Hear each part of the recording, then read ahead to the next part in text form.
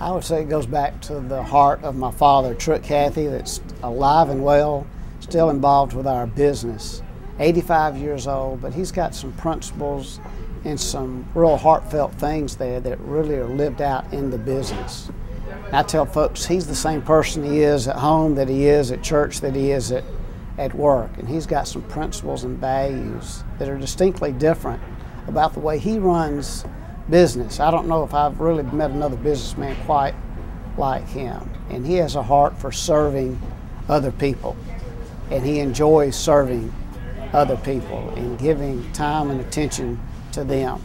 We had a motivational speaker come to us one time named Zig Ziglar, and he Zig Ziglar said, "If you help another people, enough other people get what they want, you'll get what you want."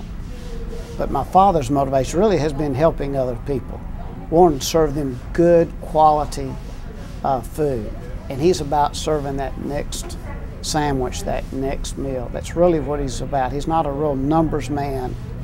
Uh, he's concerned that we do have sales and profitability, but he really wants to give the customer what they want. He said what really gratifies him is the compliments of the customers. And so he's modeled that well for us. He's been in business now 60, 60 years. And his heart comes through in the in the business. And not the almighty dollar is what really ultimately matters, but it's the total person. It's um, being closed on Sunday that we do in all of our stores. That's that's unique, and um, he wants to give our the team members a day off to be with their families, a day of rest, a day of worship if they choose. And it's been great to watch that over these 60 years in business. Not that I'm that old, but I've been around 52 years. But being him, working with him 31 years, seeing how he's living out his principles and his faith in the marketplace.